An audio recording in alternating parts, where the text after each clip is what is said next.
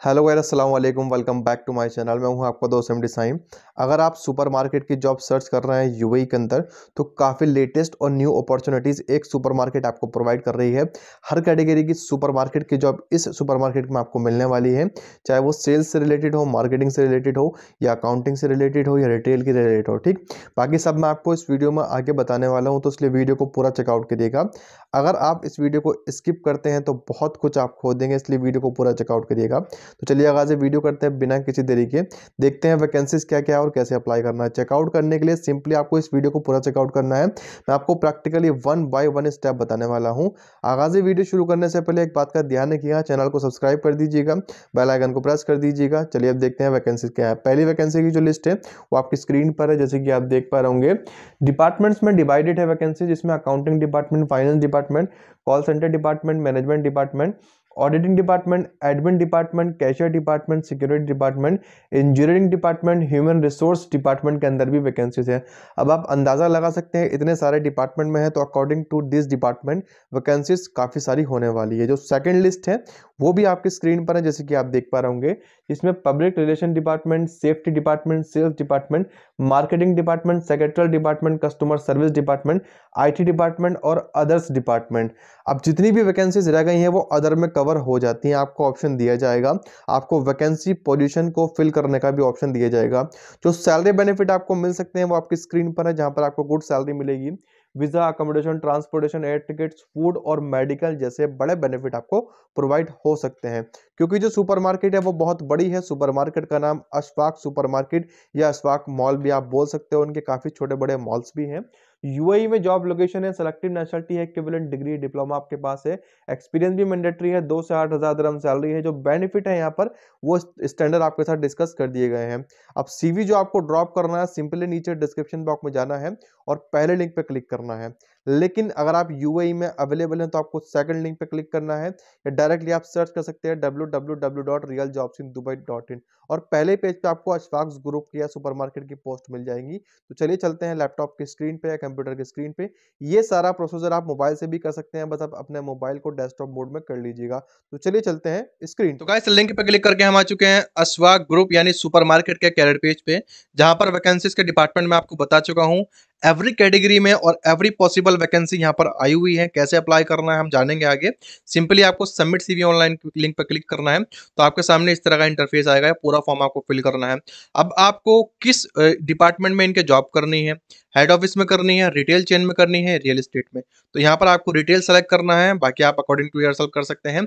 अब आपको retail chain में store management store administration receiving ambitions procurement fishering cashier और डेली की जॉब मिलेगी, ठीक? लेकिन अगर आप रिटेल सेलेक्ट करते हैं तो आपको ये सारे ऑप्शन मिल जाएँगे। तो आप अकॉर्डिंग टू योर सेल्फ कहाँ पर आपको जॉब करनी है, मैं सेल्स में सेलेक्ट कर लेता हूँ। नोटिस पीरियड आपको कितने टाइम बाद चाहिए? एक मंथ दो मंथ मैं आपको रिकमेंड करूँगा। अगर आप यू में अवेलेबल है तो वन और लेस करिएगा। और अवेलेबल नहीं है तो थ्री और मोर करिएगा, ठीक? अब यहाँ पर आपको एम्प्लॉयमेंट टाइप भी सेलेक्ट करना है। आगे अच्छे से वीडियो को देखिएगा। आपको फुल टाइम जॉब करनी है पार्ट टाइम जो भी करनी है, वो आप आंसर कर दीजिएगा, ठीक? आपकी लास्ट मंथ की सैलरी कितनी है और टारगेट सैलरी कितनी है? यहाँ पर आपको द्रम के अंदर अपनी सैलरी लिखनी है। सपोज़ करिएगा आपकी जो लास्ट मंथ की सैलरी है, वो साढ़े तीन हज़ार द्रम है आपकी टारगेट और पिछले मंथ की जो ज़ाहिर से बात इससे कमी होगी। ये करने के बाद आपको अपना एक्सपीरियंस बताना है अप्लाई जॉब के लिए। कितना एक्सपीरियंस आपके पास है? एक साल, दो साल, तीन साल, ठीक? तो मैं यहाँ पर टू ईयर लिख देता हूँ। अब आपको अपनी पर्सनल डिटेल जस्ट लाइक आपका पूरा नाम यहाँ पर लिखना है, जो भी आपका पूरा नाम हो। आप सिंगल हो मैरिड हो, ये आपको बताना है। अब आपको फैमिली का नाम यहाँ पर लिखना है, अपना यानी कि अपना सरनेम यहाँ पर आपको मैंशन करना है। तो मैं यहाँ पर एग्ज़ाम्पल के तौर पर कुछ भी रैंडमली आपको लिख करके दिखा रहा हूँ, सिर्फ़ आपके समझाने के लिए। देखिए, जो स्टार्स वाले पॉइंट है, वो कंपलसरी है, वो आपको करने ही पड़ेंगे। बाकी सब आप छोड़ सकते हैं। नेशनलिटी में आप अपनी नेशनलिटी लिखेंगे और डेट ऑफ़ बर्थ यहाँ पर लिख सकते हैं आप अपनी, आपको लिखनी पड़ेगी। ये सब आप लिख सकते हैं या ऐसे ही छोड़ सकते हैं। बाकी आपको जेंडर सेलेक्ट करना है अपना और किस कंट्री के आप रहने वाले हैं, ये सेलेक्ट करना है, ठीक?